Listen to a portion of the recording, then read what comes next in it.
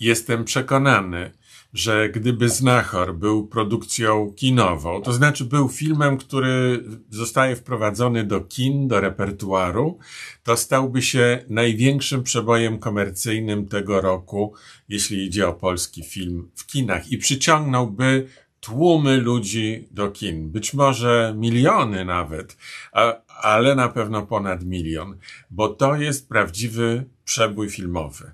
Dawno nie mieliśmy w Polsce takiego filmu, który by wywoływał um, akceptację, a nawet entuzjazm wśród bardzo różnych widzów i tych oczekujących po prostu dobrze opowiedzianej historii, melodramatu, y, historii, przy której można się wzruszyć, popłakać i tych, którzy mówią, a nie chciałem oglądać tego filmu, właściwie po co, przecież to znam, zresztą ten film z Bińczyckim był taki doskonały, to po co oglądać inny, który na pewno nie będzie taki dobry i oni wychodzą, e, nie, nie wychodzą z kina, oni kończą oglądanie tego filmu w internecie i mówią, wow, to jest naprawdę dobre. Nie, to nawet trudno porównać, które lepsze, ale ten film jest po prostu dobry. Jak to jest możliwe? Jak to się stało? I w dodatku w filmie, który nie jest filmem kinowym, tylko filmem Netflixowym. Powiecie Państwo, no i cóż takiego? No przecież nie ma różnicy między tymi filmami. Ja też tak uważam.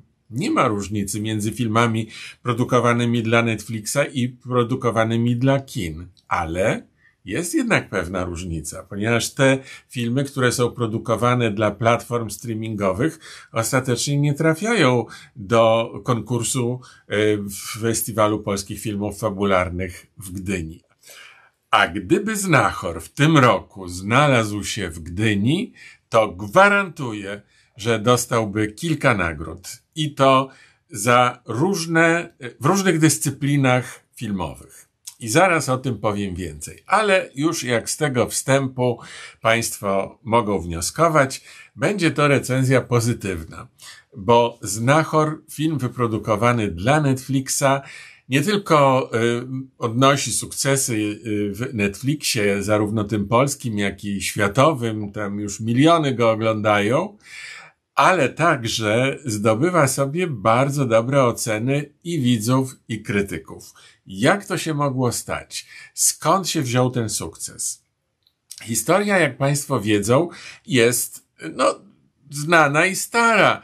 Pierwszy film pod tytułem Znachor, według powieści Tadeusza Dołęgi-Mostowicza, został zrealizowany w 1937 roku i y, zrobił go Michał Waszyński, a scenariusz do tego filmu napisał na podstawie powieści Tadeusza Dołęgi-Mostowicza sam Anatol Stern. E, no, to oznaczało już pewną jakość, jakość scenariuszową. I ten film w 1937 roku e, z Kazimierzem Junoszą Stępowskim w roli profesora Wilczura stał się gigantycznym przebojem gigantycznym przebojem, jak na y, y, ten czas II Rzeczpospolitej wyjątkowym, ponieważ był to przebój filmowy przyciągający do kin nie tylko miejską publiczność i to z różnych, y, z, z różnych sfer, ale także publiczność wiejską, która zmierzała do miasteczek, do kin całymi grupami, by oglądać Znachora. Dlaczego tak się stało? Bo wieś, polska wieś, zacofana wieś, bo w II Rzeczpospolitej, w czasach II Rzeczpospolitej, polska wieś naprawdę była jeszcze tak jednym krokiem za pańszczyzną. E, to, to wszystko było jakby zachowane z XIX wieku jeszcze. E, trudno nawet nam sobie wyobrazić, jak wyglądała wieś w tamtym czasie. Była po prostu zacofana. I no co tu dużo mówić, ludzie mieszkający w mieście trochę y, pogardzali y, tymi, którzy mieszkają na wsi, jako tymi zacofanymi. I oto pojawia się film, pojawia się najpierw powieść, w której polska wieś jest pokazana przyjaźnie. To nie znaczy y, jakoś cukierkowo, ale przyjaźnie. Pokazana jest z sympatią i ze świadomością, że jest w niej dużo dobrego, że jest w niej dużo tego, co możemy polubić, pokochać, być dumnymi z tego. Polska wieś została podniesiona, uhonorowana w tej melodramatycznej, miłosnej opowieści, ale rozgrywającej się na wsi, przede wszystkim na wsi, która jest zamieszkana przez dobrych ludzi, przez ludzi często niewykształconych i prostych, ale o szczerych i dobrych sercach.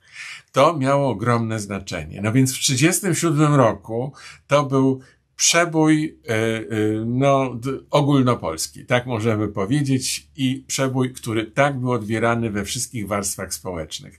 Do tego stopnia, że od razu zdecydowano, żeby zrobić sequel. Sequel, czyli następna część Znachora, pojawiła się już rok później, w 1938 roku i ten drugi film nazywał się Profesor Wilczur. Zrobił go również Michał Waszyński, również Anatol Stern zrobił scenariusz na podstawie Tadeusza Dołęgi-Mostowicza i również Kazimierz Junosza Stępowski tam grał i również powtórzony został sukces tego filmu.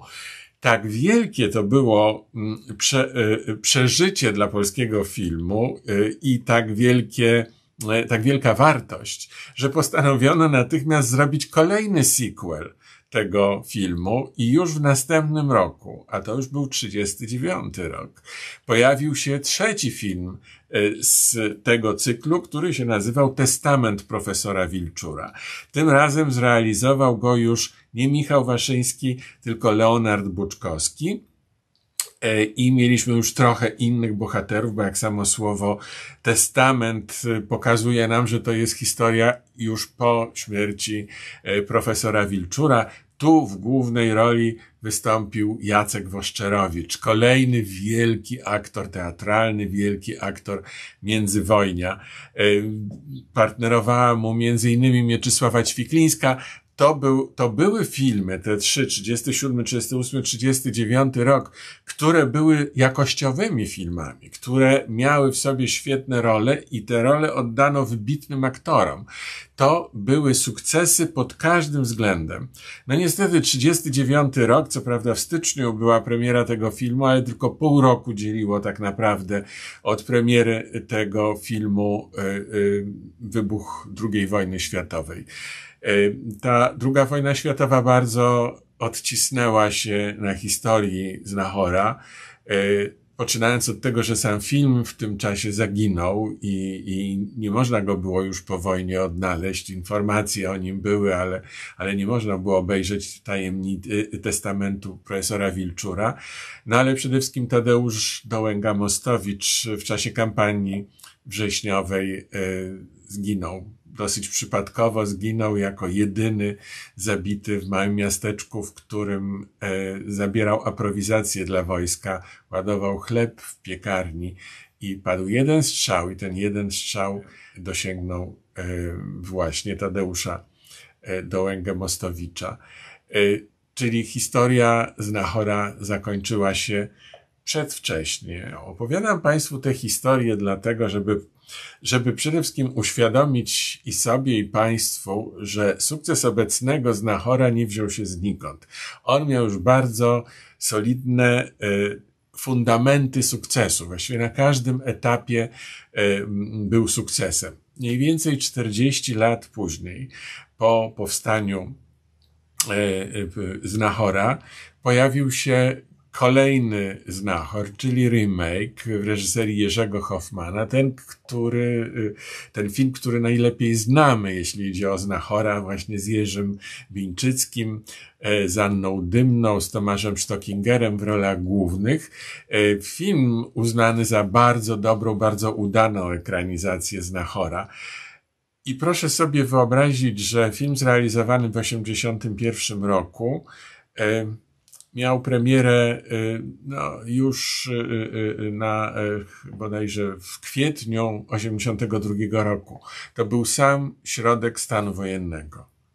Jakieś przekleństwo jest związane ze znachorem, bo ten ostatni znachor, testament profesora Wilczura, powstał w 1939 roku, na pół roku przed wybuchem II wojny światowej. Znachor Jerzego Hoffmana powstał w 1981 roku, e, tuż przed e, e, ogłoszeniem stanu wojennego.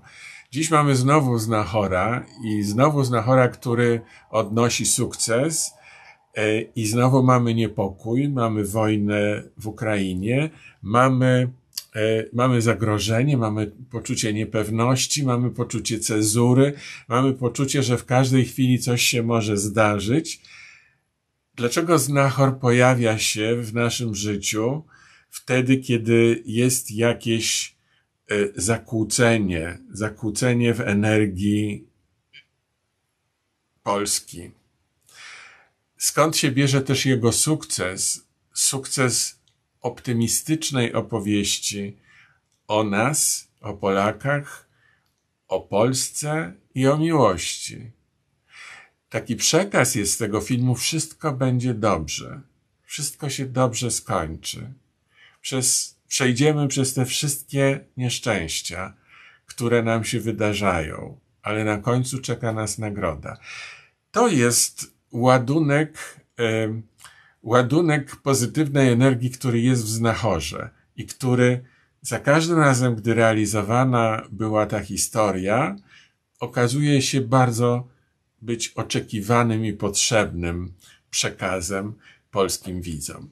No więc jak jest teraz? Z tym znachorem, na którego najpierw machano ręką, że znowu znachor, po co znachor? No ale zobaczcie Państwo, tak między 37 rokiem a 81 yy, no prawie 40 lat minęło, między 81 a yy, obecnym też znowu mniej więcej 40 lat. Yy, Czyli to, to koło tak jakoś regularnie się toczy i ta wersja e, z, e, z Netflixowa e, zapisze się w historii polskiego filmu. Sukces to niewątpliwie, który należy przypisać reżyserowi. Michał Gazda wyreżyserował ten film. E, według scenariusza Marcina Baczyńskiego i Mariusza Kuczewskiego, oczywiście na podstawie powieści Tadeusza Dołęgi-Mostowicza. Ale takim prawdziwym zaskoczeniem tego filmu, bo przecież to jest ta sama historia, w szczegółach tylko różniąca się, są aktorzy, a właściwie powiedziałbym jest casting. Najpierw było to podejście, że Bińczycki, jak jak można pokonać Bińczyckiego w roli profesora Wilczura? To jest niemożliwe. Okazało się, że nie będziemy się ścigali, nie będziemy mówili, który jest lepszy, ale Leszek Lichota, który gra profesora Wilczura e, w najnowszej wersji z Nachora, daje radę. Nie tylko daje radę, budzi podziw. To jest świetnie zagrana rola. I teraz słuchajcie, gdyby ten film został wyświetlony w konkursie, na Festiwalu Polskich Filmów w Gdyni, to Leszek Lichota byłby jednym z głównych kandydatów do nagrody za najlepszą pierwszoplanową rolę męską w polskim filmie w roku 2023. Na tym też polega to nieszczęście, że filmy z platform streamingowych są traktowane jako takie e, e, bękarty kina, e, czyli może i piękni ludzie, może i zdolni, czy też może, może i dobre filmy, ale urodzone z nieprawego łoża, bo nie w, nie, do, nie w kinach, tylko w streamingu. To nie są bękarty. To są w pełni tacy sami bracia i siostry tych kinowych filmów, które trafiają w szranki konkursów. I to, o tym musimy pamiętać. A tutaj cała obsada jest udana. Ja byłem zachwycony dwiema paniami. Panią Anną Szymańczyk, która grała Zośkę Młynarzową, która sobie profesora Wilczura znajduje i szybko się w nim rozkochuje. No nic dziwnego, bo profesor Wilczur to sama chodząca dobroć i uroczy mężczyzna. Więc Zośka po prostu kocha ją, kocha jego, a on ją, jak się okazuje, darzy uczuciem, bo ona też jest właśnie chłopką, która pokazuje całą prostolinijną ale dobroć i mądrość zarazem. To jest bardzo ważne, że to, to zostało w filmie zachowane. Ta, ta, ten ładunek pozytywnej energii na temat prostych ludzi został zachowany w najnowszym znachorze i to jest jego ogromną siłą. E, świetnie gra Maria Kowalska, która gra, znowu była w sytuacji, jak to Anna Dymna. No, kto może być piękniejszy i lepszy niż Anna Dymna, która wtedy zagrała i była ukochaną całej Polski. No więc Maria Kowalska jest zupełnie inną dziewczyną. Jest y, delikatna, nie olśniewająca swoją urodą, tylko mająca taką cichą, urodę pociągającą za sobą zainteresowanie każdego, nie tylko mężczyzn. Nic dziwnego, że y, zwraca na nią uwagę hrabiaczyński.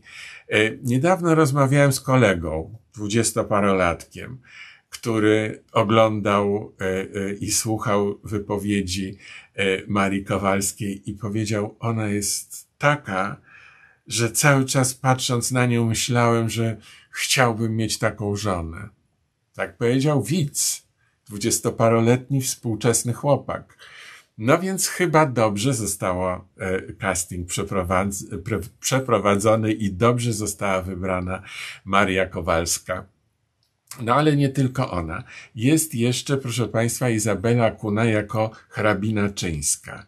Cóż to jest za jędza? No po prostu kobieta samo zło wszystko psuje dookoła siebie i wszystko chce zepsuć. Jest to okrutna i jest małostkowa i jest pusta. No, wszystko co najgorsze można zrobić y, i można pokazać. No a Mikołaj Grabowski jako jej mąż i ojciec y, hrabiego czyńskiego zakochanego y, w naszej Marysi, to jest dopiero taki, taki arystokratyczny pandulski taki zdominowany przez tę swoją żonę, nieodzywający się, właściwie zgadzający się na wszystko, raz tylko się zbuntuje. Ale w ważnej chwili, jak się zbuntuje, to nazwie ją takim słowem, którego Państwu teraz nie powiem, ale czekajcie na to słowo, bo tak stanie naprzeciwko tej swojej potwornej żony, której się boi, i prosto w twarz jej wypali, bo ty jesteś... Zobaczcie w filmie, co powie. O, tylko Mikołaj Grabowski potrafi tak wytrzymać tę kwestię i tak ją potem powiedzieć. I w tym wszystkim jest, y, no widać jego y, determinację i zarazem to jest takie zabawne i zarazem to jest takie urocze i zarazem to jest takie potrzebne. Y, Ignacy Lis, który gra zakochanego młodego hrabiego Czyńskiego, jest też zaskakujący. Tu przejmuje rolę po Tomaszu Stockingerze, ale przejmuje ją grając zupełnie inaczej, grając bardzo e, z jednej strony współcześnie, a z drugiej strony w taki sposób, że można sobie wyobrazić, że w tamtych czasach również taki chłopak mógł być. Z tymi e, kędziorami rozwichrzonymi na głowie, z tym blaskiem w oczach, zaczepnym blaskiem w oczach, ale też z tą gotowością do naj, najdziwniejszych pomy- do zrealizowania najdziwniejszych pomysłów, z taką radością życia, ale także z taką szczerą umiejętnością dostrzeżenia tego, co dobre fajna postać i fajnie y, zagrana, bo nie jako taki pięknotek Lovelas, tylko jako uroczy chłopak, który jest wart tej naszej Marysi Wilczurówny, y, która, y, której losy śledzimy i, no i czekamy na ten moment, żeby się okazało, kto jest jej prawdziwym ojcem i, i żeby się żeby się spotkali, żeby się rozpoznali, żeby znowu byli razem. No więc Znachor, proszę Państwa, to jest udany film. Trochę budzi mój niepokój fakt tej powtarzalności cezur historycznych, gdy pojawia się film Znachor y, y, w, y, w nowych swoich wersjach. No ale umówmy się, że może nic gorszego niż wojna w Ukrainie już tym razem nas nie spotka.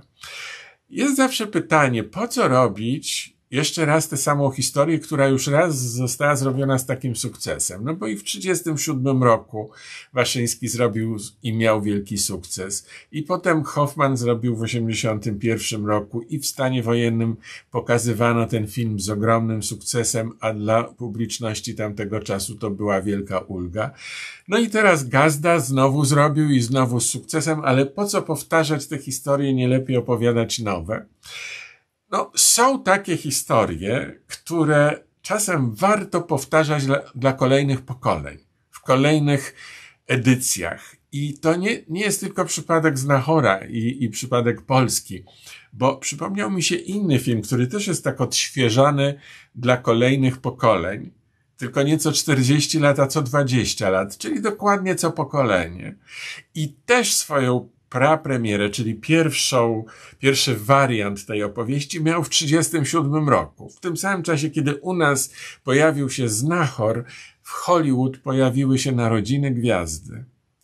A potem minęło 20 lat i w 54 roku, no to pi razy oko 20 lat, pojawił się e, nowy wariant Narodzin Gwiazdy, ten z Judy Garland, a potem minęło znowu prawie 20 lat i w 76 roku pojawiły się Narodziny Gwiazdy z Barbara Streisand, Chrisem Christophersonem. No i wreszcie teraz, w 2018 roku, teraz, no to już 5 lat temu, to czy to możliwe, e, pojawił się ten wariant z mm, wspaniałą Lady Gagą. To jest przykład na to, że E, narodziny gwiazdy również za każdym razem miały sukces i że są takie historie, które po prostu trzeba opowiadać dla każdego kolejnego pokolenia. Więc możemy się spodziewać, że Znachor no u nas za 40 lat, a może i za 20, jeszcze raz zostanie nakręcony, oby z tak dobrym skutkiem, jak dotychczas to było. E, będę się czepiał, bo e, nie wszystko jest idealne. E, w tym e, filmie. Co prawda, aktorstwo naprawdę wyborne, wyborny casting, świetne wy, wy, e, wynalezienie nie, niezbyt jeszcze spopularyzowanych aktorów, którzy tutaj pokazują swój talent. Świetna muzyka. Muzykę napisał Paweł Lucewicz, ale i on miał jeszcze pomysł taki, że zaprosił do wykonania pieśni, e, no, takich ludowych pieśni, ale w nowoczesnym, choć ciągle pełnym pokory i zachwytu dla ludowego pierwowzoru wykonaniu e, tercetu dziewczęcego z Fachy. I ta muzyka pięknie tutaj zarezonowała, pięknie zabrzmiała. Znowu kolejny dobry pomysł producencki, E, tego, e, tego filmu. Nie wszystko jest idealne w tym filmie. E, szczególnie pod koniec. Wydaje mi się, że to trochę precyzja gdzieś się rozmyła, trochę film uległ przyspieszeniu i a przyspieszenie dało efekt mniejszej staranności. E, dlatego, e, dlatego może tu bym się trochę czepiał, chociaż i tak pewnie Państwo tego e, nie zauważą albo nie będą na to zwracali uwagi, no bo wtedy właśnie dochodzimy do tego momentu kulminacyjnego, na który czekamy. Wtedy łzy popłyną, nie wstydźcie się Państwo łez, bo o nie chodzi. I one są oczyszczające w tym filmie. No więc jakoś można się prześlizgnąć nad y, tym przyspieszeniem i, i utratą y, y, takiej sumiennej dokładności na końcu, bo ostatecznie film osiąga swój efekt. Myślę, że powiedziałem już wystarczająco dużo, żeby przejść do oceny. Mm, najpierw oczywiście będzie misa tybetańska, która nam da czysty dźwięk, żeby ocena była uczciwa.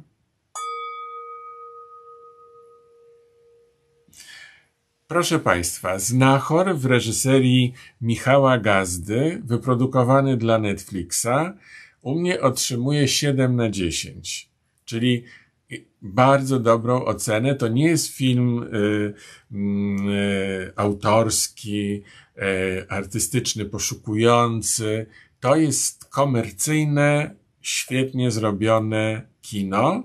Y, umówmy się ze wszystkimi uproszczeniami, które takie kino y, y, ma i może mieć i, i mu się na to pozwala, ale które jednak wpływają na to, że ta ocena jest odrobinę niższa. Ale 7 na 10 to jest bardzo dobra ocena mm, dla filmu Znachor i myślę, że Państwo się ze mną zgodzą. E, a teraz, e, teraz czas na trzy łyki wody z miedzianego kubka. E, państwa też namawiam na trzy łyki czegoś i zaraz będziemy w części premium.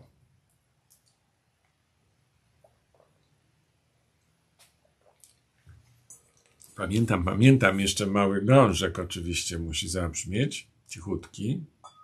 Nie no, bez przesady, trochę mocniej. Taką mam ochotę łupnąć. Jeszcze raz, dobrze? O, no lepiej, dużo ładniej.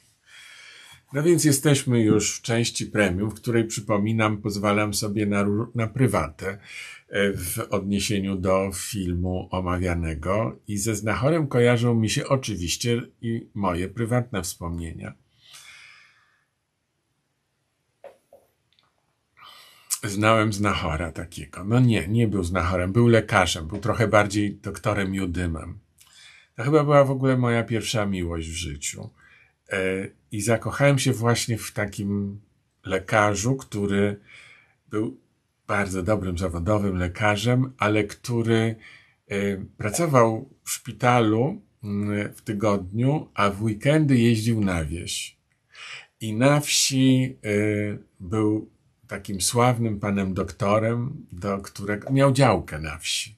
I zabierał mnie tam ze sobą a na tej działce wszystko było piękne, były piękne pomidory, piękne takie wielkie cukinie, ogórki. Ja się uczyłem, e, jak rosną warzywa w warzywniku, bo tu w mieście to tylko widziałem w stoiskach w sklepach warzywnych, a tam Uczyłem się zbierać je, uczyłem się e, dostrzegać, co jest z drzewa, co z krzaka, e, co, co wisi na gałęziach, a co leży na ziemi, a co pod ziemią. To, to była bardzo ciekawa dla mnie lekcja. Ale w tym czasie, kiedy ja te cukinie zbierałem i tak tylko kątem oka patrzyłem w stronę domku, to tam się ustawiała kolejka do tego mojego pana doktora a wszyscy go tak uwielbiali. I z różnymi prośbami, z pytaniami, żeby pan doktor zbadał, żeby pan doktor wypisał jakąś receptę. Przychodzili jak to na wsi, z jajkami, ktoś gomułkę sera przyniósł, ktoś jabłka ze swojego sadu i zostawiali mu to. A on mówi, ale to niepotrzebne, ale po co przynieśliście to? Ze wszystkimi był po imieniu ja byłem taki dumny, taki dumny, że znam prawdziwego doktora Judyma, które, którego ludzie tak bardzo kochają, a on ich kocha. Nie, nie jest tylko takim szybkim lekarzem, co, co, co tylko patrzy w komputer, tylko patrzył im w oczy. Dotykał każdego pacjenta, badał, każdy musiał być posłuchany. E, moja mama, która też była lekarzem, zawsze mówiła, że prawdziwe badanie to musi być badanie e, osobiste, a nie przez telefon na przykład. I to musi być takie badanie, w którym lekarz dotyka pacjenta. To nie może być na odległość, na dystans. Musi poczuć ten oddech przez słuchawki, musi y, zobaczyć, zmierzyć tętno, dotknąć tego człowieka wtedy dużo więcej i uważniej, dzięki uważności wychwytuje z jego stanu zdrowia. Czasem wychwytuje to, czego pacjent nie umie powiedzieć. Szczególnie taki prosty pacjent, któremu brakuje słów, żeby nazwać to, co czuje. A więc dumny byłem bardzo. A kiedyś mnie zabrał ze sobą w drodze powrotnej z tej działki w niedzielę do Warszawy i mówi, wiesz co, chodź, bo y, ja jeszcze muszę gdzieś zajechać do góry Kalwarii, tam tak bardzo mnie prosili, to podjedziemy. Podjechaliśmy, a tam czekała kolacja i cała rodzina elegancko ubrana. Co się okazało? ten mój doktor, mój przyjaciel, y, odkrył ciężką chorobę seniora tej rodzinie. Odkrył na tyle szybko, że dało się ją zoperować i choć była to śmiertelna choroba, udało mu się ocalić życie. I ci, ta cała rodzina, ci wszyscy ludzie, żebyście Państwo wiedzieli, jak oni patrzyli na tego mojego doktora. Jak, on, jak oni mu dziękowali, jak oni go kochali, jak oni chcieli mu dać wszystko, co mieli, a nie mieli wiele. A on, był taki szorstki trochę w sposobie bycia, żeby nie lubił czułostkowości. Mówił, ale, ale po co to, ale o co, ale o co chodzi? No przecież to normalne. Chcielibyście mieć takiego lekarza? Może macie Państwo? Napiszcie, podzielcie się swoimi doświadczeniami. W każdym razie ja pamiętam to bardzo dobrze i, i było to dla mnie bardzo ważna lekcja. Dlatego, kiedy oglądam Znachora i widzę, jak ustawiają się tam ludzie do niego przy młynie, to powtarza mi się, jakbym déjà vu przeżywał, tamta historia y, z działki pod Warszawą. Ale mam jeszcze jedną rzecz w ramach premium i, i też pytanie do Państwa. Otóż, kiedy y, jakiś czas temu mieliśmy film o wybitnym polskim lekarzu, profesorze Relidze, który przedstawiał no, nie tylko jego znakomite umiejętności, ale także i jego słabości takie, że na przykład odreagowywał napięcia tym, że po prostu pił alkohol i bywał pijany. I to był wielki problem jego i najbliższych. A jednocześnie no, był przed innymi w sensie umiejętności, w sensie wizjonerstwa chirurgicznego swojego, e, także złotej ręki czy złotych rąk raczej należałoby powiedzieć. I wtedy przyszło mi do głowy,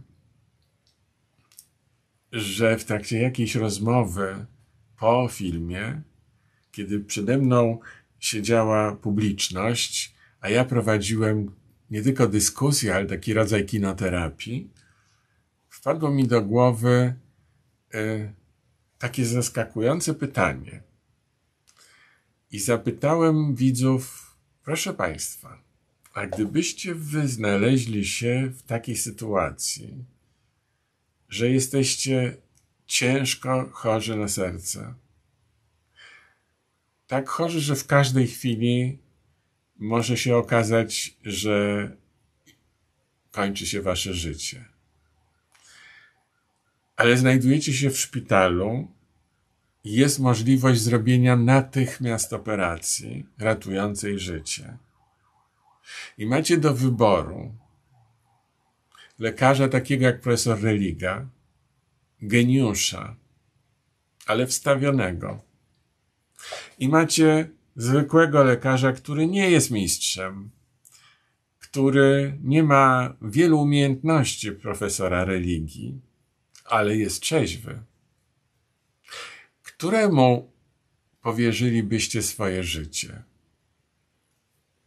Kogo poprosilibyście o to, żeby, żeby was ratował? I kto miałby przeprowadzić tę operację? I wtedy poprosiłem na początek, niech podniosą ręce wszyscy ci, którzy wybraliby przeciętnego lekarza, ale trzeźwego. I wtedy wszyscy podnieśli ręce. Wszyscy. I ja się zdziwiłem. Zapytałem, no dobrze, ale, no ale ten, ten doktor wybitny, ten wirtuos chirurgii, ten geniusz, nawet jak jest wstawiony, pozostaje geniuszem. Może więcej umieć Tamten nawet trzeźwy może po prostu nie podołać temu. A tu jest ryzyko, ale, ale jednocześnie złote ręce są zawsze złotymi rękoma. Ja wierzę w talent, ja wierzę w geniuszy, ja wierzę w wyjątkowość niektórych ludzi. Więc dla mnie to było, był dylemat. Jak się okazało, dla innych nie. Ciekaw jestem, co Państwo by wybrali. Który z tych chirurgów? Genialny, ale wstawiony, czy przeciętny, ale trzeźwy? Komu byście powierzyli swoje życie? Przy okazji znachora chyba na miejscu jest takie pytanie.